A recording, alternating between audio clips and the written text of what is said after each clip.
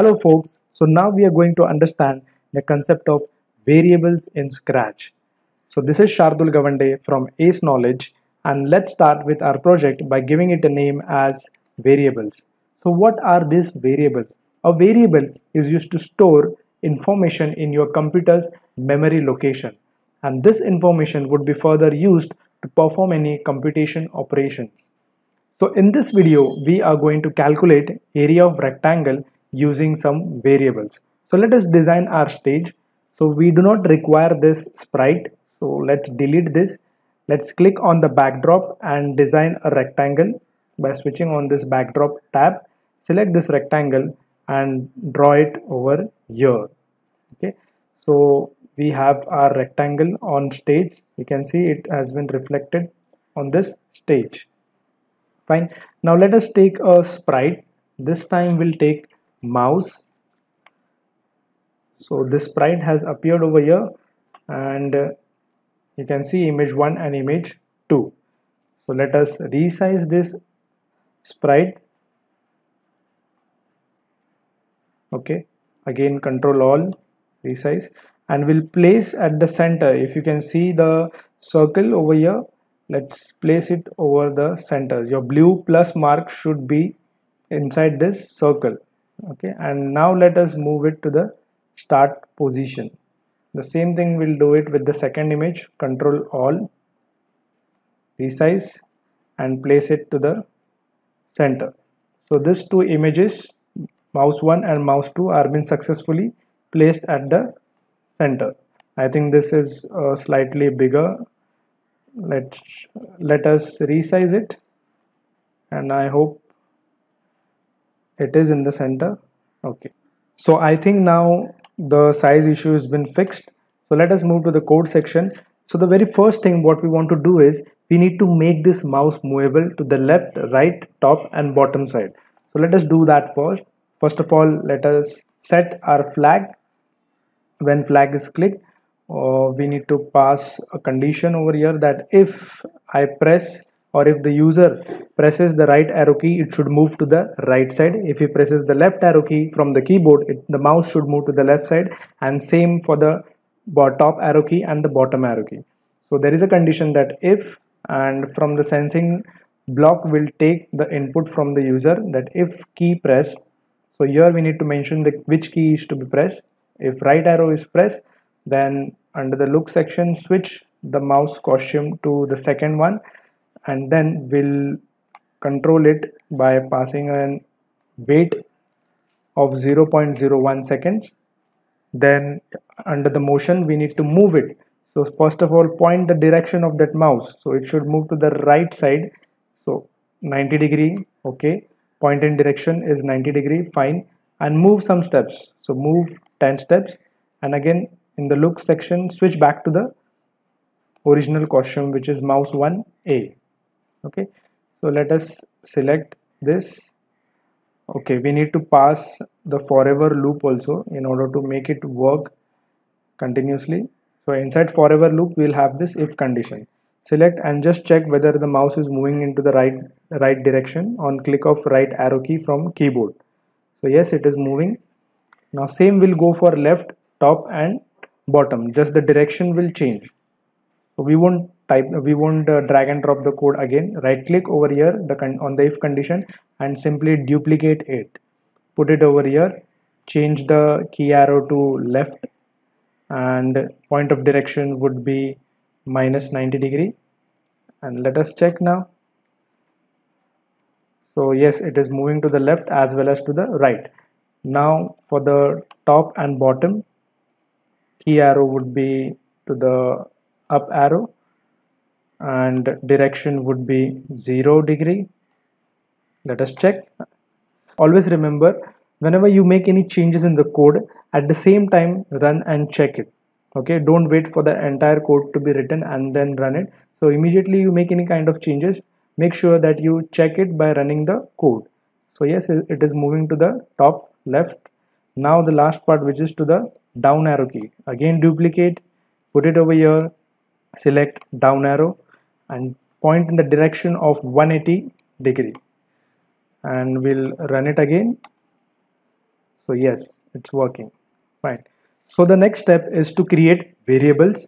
And what we are going to store in this variables? So we are going to store the number of steps the mouse moves through the length of this rectangle and to the width of this rectangle. Okay? So let us create the variables. Let us bring our mouse to the back to the start position. And we'll go into the variable section. Here you have an option of make a variable. So click on this make a variable. First variable would be our length. Select for this sprite only which means it would be just for this mouse object only. Click on ok. Again make another variable.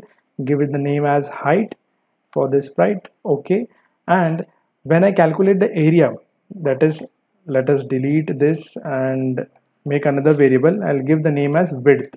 Okay.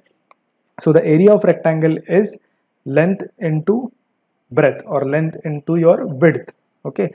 So we have over here now length and width variables which are created. Fine. So we need one more variable in which the answer of this multiplication part of your length and width would be stored. So we need one more variable called as area in which we will store our answer. Okay? So variables have been created. You can see it over here on the stage length width and area. You can arrange them accordingly as per your need on the stage on any position. Now whenever you want to use variables firstly initialize them to 0 so let's set each and every variable when the flag has been clicked to 0 so set area is done then set our length and set our width. Okay? So in the length what I want to store is the number of steps the mouse moves in this side. Okay? In the horizontal part. So simply we should go into the right arrow code part and over here we'll say change our variable length variable by 1 so if you observe now if I click on the right arrow the value in the length variable will go on incrementing by 1 see 1 2 3 4 in this way it will go on incrementing. Again I keep it over here to the same position. The same it should go for the width section of a rectangle. So width section is the up arrow part.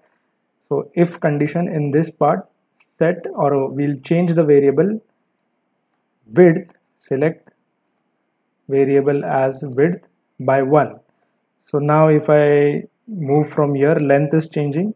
And if I go upwards my width will change. Okay? For the left and bottom I'm not assigning any variable because our job is only with the length and width. Once we get the length and width we'll do the multiplication part and store the answer in variable area so we need to put a condition over here. Now area we will be calculated when the user will press spacebar button from the keyboard. So come over here. First put a condition as if then in the forever loop. Sense it that if the user presses spacebar then you you need to calculate the area and give him give it to him. So under variables come over here. Click on set area okay so now we are dealing with the variable area. And this would won't be zero. Over here we would perform the multiplication of length and width. So go to the operators. We have plus minus multiplication division greater than less than and so on. We are dealing with multiplication. Okay so in this two blank boxes will pass our variable length and the next is width and simply drag and drop them over here okay? So our variable is set area to length into width fine? And now if we will run just stop the code and run it again make sure that all the values are initialized to zero. And now I'm moving my mouse. The length is changing okay? And now the height or the width is changed okay? And once I press the space bar I'll get the area. See I got the area as 380 which is nothing but length into width right? So this is how variables are used in order to store the information and we can perform operations and store the result back into variables. So that's it from this video. If you have understood the concept of variables do like the video share it with your friends and don't forget to subscribe. Thank you so much